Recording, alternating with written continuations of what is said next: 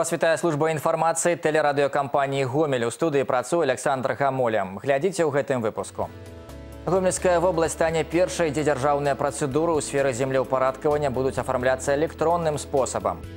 Пра меры па захаванні дарожнай бяспекі ў рэгіёне сёння пойдзе размова ў праграме дыялог. Пастаўлена кропка ў справе гомельскіх макавых каралеў.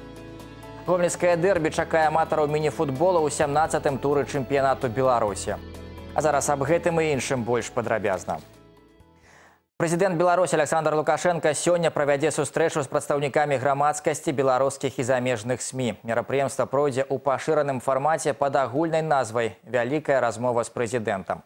У ім прымуць удзел амаль чатыры дзясяткі журналістаў. На сустрэчу запрошаны і шматлікія эксперты, якія таксама прымуць удзел у дыялогу па найбольш актуальных тэмах. Прамая трансляцыя сустрэчы на тэлеканалах Беларусь-1, Беларусь-24 і першым нацыянальным канале беларускага радыё пачнецца ў 10 гадзін. Гомельская вобласць стане першай, дзе дзяржаўныя працэдуры ў сферы землеўпарадкавання будуць афармляцца электронным спосабам. Дзякуючы выкарыстанню сучасных тэхналогій зямельныя ўчасткі пачнуць прадастаўляць больш хутка. У новаўвядзеннях разбіралася наш карэспандэнт Марына Джалая. Той, хто атрымліваў зямельны ўчастак, ведае, што гэтая справа не толькі клапотная, але і працяглая. Яна адымае шмат часу не толькі ў будучага ўладальніка надзелу, але і ў спецыялістаў. Каб працэс абмену дакументацыі паміж землеўпарадкавальнымі службамі і агенцтвамі па рэгістрацыі стаў больш хуткім, будуць выкарыстоўвацца электронныя тэхналогіі. Мы работаем с новой программой земельной информационной системы. Эта программа позволяет в электронном виде оформлять э, ряд документов, Э, в том числе э, те документы, которые необходимы землепользователям для получения земельных участков. Фактически, не выходя из кабинета, мы сможем зачастую э, в актуальном виде понять, что на сегодняшний день происходит с земельным участком. Раньше это было Э, непосредственно обследование участка на местности. Асабліва гэта актуальна для жыхароў аддаленых раёнаў. Пакуль паштовыя адпраўленні будуць курсировать з адной службы ў другую, можа прайсці не адзін месяц. Аўтаматызаваная сістэма зэканоміць час на афармленне неабходных працэдур як мінімум на трэць. Старт праекта адбыўся менавіта ў нашай вобласці. Магу з гордасцю сказаць, што в, именно в Гомельской области запускаются все проектные мероприятия по данному проекту. И начиная с Гомельской области, дальше распространяются по всей республике. Для таго, каб працаваць па-новаму можна было паўнавартасна, патрэбны час і грунтоўная работа сотняў спецыялістаў. Яны будуць напаўняць праграму звесткамі аб кожным зямельным участку, суправаджаць іх электроннымі картамі і нават указваць усю тую інфармацыю, якую раней не фіксавалі наогул. Як паўжартам кажуць у землеўпарадкавальнай службе, год навукі павінен знайсці сваё адлюстраванне і ў іх працы. Марына Джалая, Валерый Гапанько, тэлерадыёкампанія Гомель. Спецыялісты дзяржаўнага санітарнага нагляду гомельскай вобласці выявілі парушэнні на 96 процентах правераных аб'ектаў гандлю. Для ліквідацыі недахопаў магазины былі вымушаны прыпыняць сваю дзейнасць на тэрмін ад аднаго дня да месяца. З сітуацыяй азнаёміўся Олег Сенцюроў. Усяго за мінулы год санітарная служба прыпынялі дзейнасць больш 600 аб'ектаў гандлю. Геаграфія вельмі шырокая ад кармы да жыткавіч. Сярод выяўленага гандаль пратэрмінаванымі прадуктамі, парушэнне тэмпературных рэжымаў, бруднае памяшканне і абсталявання. Пры гэтым больш як 40 прадпрыемстваў не працавалі на працягу цэлага месяца. Увогуле парушэнні патрабаванняў санітарнага заканадаўства летась азначана больш як на 4 з паловай тысячах аб'ектаў, але большасць ліквідавала іх без спынення дзейнасці. Урэшце для таго, каб зняць продажу пратэрмінаваную прадукцыю шмат часу не патрэбна. Специалистами Госсанадзора Гомельской области за нарушение санитарно-эпидемиологического законодательства при обращении пищевой продукции привлечено к административной ответственности более 4 тысяч человек на общую сумму 600 тысяч рублей и вынесено 2500 предписаний об устранении нарушений. Снято с реализации 9 тонн недоброкачественной пищевой продукции Дадзеная праверак службы дзяржаўнага санітарнага нагляду сведчаць, якасць і бяспека часткі, рэалізуемай у крамах гомельскай вобласці прадукцыі, нават не пацверджана ніякімі дакументамі. Кожнае шостае парушэнне захоўванне тавару ў непрыстасаваных умовах, кожнае дзесятае рэалізацыя тавару без маркіроўкі ці няпоўнай інфармацыі. Апрача таго, у некаторых крамах могуць практыкаваць такія недобрасумленныя ў адносінах да пакупнікоў меры, як апрацоўка вэнджанай рыбы і кабас з цвіллю алеем ці састарэлага сала сродкамі для мыцця посуду. У рамках дзяржаўнага экспертнага санітарнага нагляду у мінулым годзе толькі лабараторыямі гомельскага абласнога цэнтра гігіены эпідэміялогіі і грамадскага здароўя праверана амаль 2000 узораў у 5 процентах выпадкаў прадукцыя прызнаная непрыгоднай для ўжывання пры гэтым 63 проценты небяспечнай харчовай прадукцыі імпартнай вытворчасці Основное количество забраковок пищевой продукции у нас было связано с а, несоответствием по микробиологическим показателям. То есть это бактерии группы кишечной палочки, плесени. В основном браковалась продукция, это завтраки быстрого приготовления, э, приправы, чаи. Олег Сенцюроў, Валерый Гапанько, тэлерадыокампанія Гомель. Гомельскія судовыя эксперты ў мінулым годзе правялі звыш 47 тысяч экспертыз. Гэты і іншыя факты агучылі ў рэгіянальным управленні, дзе прайшла выніковая калегія. Спецыялісты па судовай экспертнай дзейнасці даследавалі амаль 17 тысяч месцаў здарэнняў.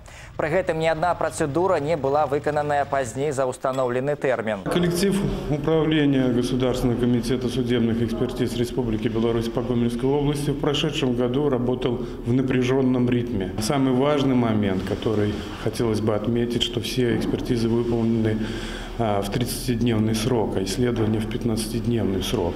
Это а, достойный результат работы всех сотрудников управления. Больш аператыўнай работу судэкспертаў зрабіла сучасная тэхніка, набытая ў мінулым годзе. Храматамас-спектрычная сістэма праводзіць аналіз наркатычных і псіхатропных рэчываў. Для параўнання раней некаторыя матэрыялы накіроўвалі ў мінск і чакалі вынік некалькі тыдняў.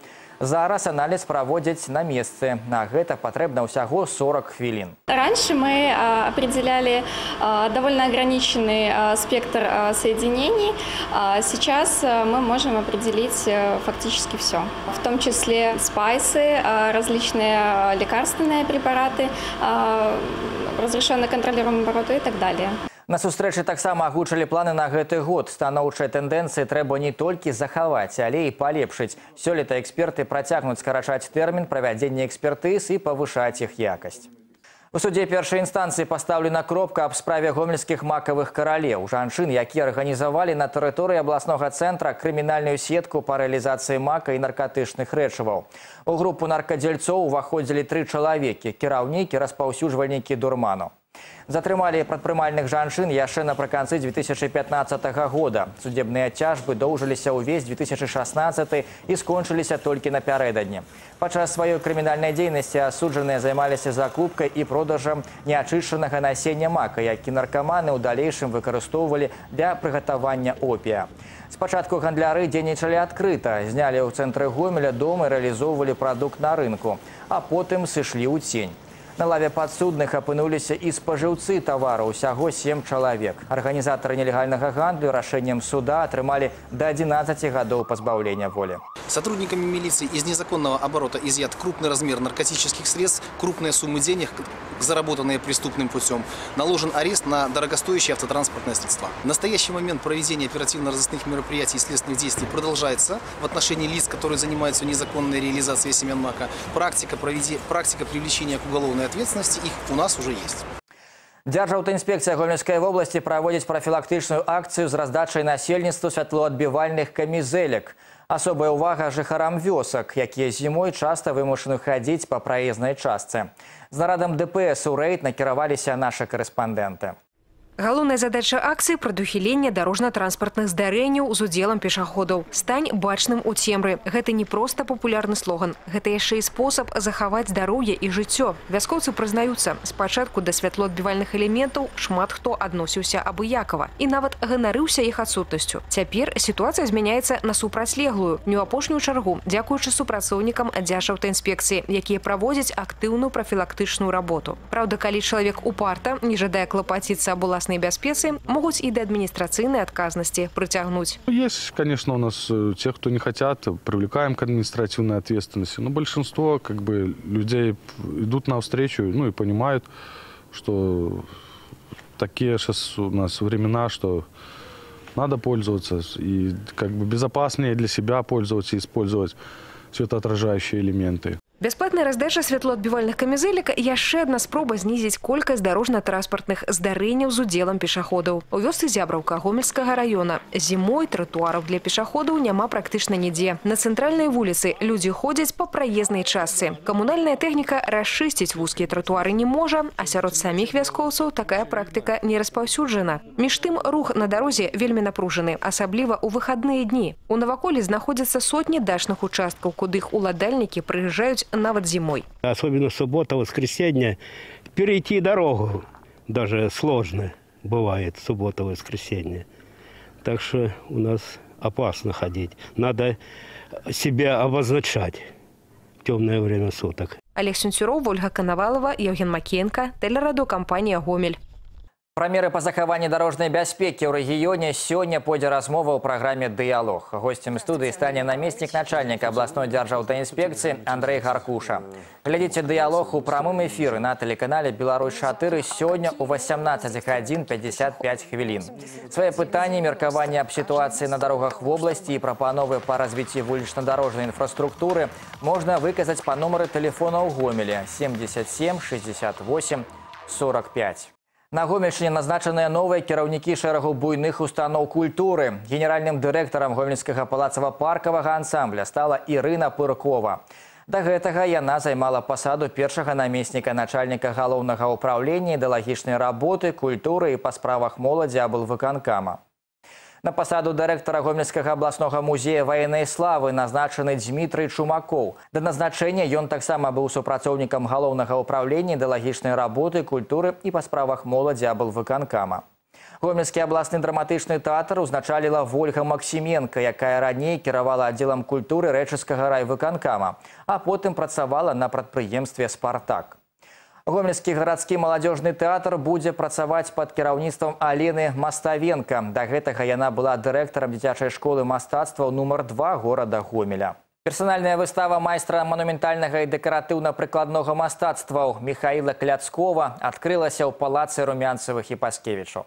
Падзея прымеркавана да 70годдзя з дня нараджэння мастака. Михаил Кляцкоў самабытны майстар. Яго творы характарызуюцца асаблівай цеплынёй, выразнасцю формы, маляўнічасцю фактуры і колеру. Гомельскі мастак свабодна валодае ляпной і ганчарнай тэхнікай, рознымі відамі дэкаравання керамікі. Ён перадае ў сваіх работах назапашаныя стагоддзямі беларускія традыцыі. Мастаком створана мноства дэкаратыўных набораў сервізаў і вас. Распрацаваныя мадэлі выкарыстоўваліся ў прамысловай вытворчасці прадпрыемствам Беларусь кераміка. Творы Михаіла Кляцкова знаходзяцца ў фондах нацыянальнага мастацкага музея Беларусі, расійскіх музеях, а таксама ў прыватных калекцыях. Гарадскім дэрбі парадуе гомельскіх аматараў міні-футбола 17 тур чэмпіянату Беларусі. На паркеце спорткомплексу «Лакаматыў» сёння сустрэнуцца БЧ і ВРЗ.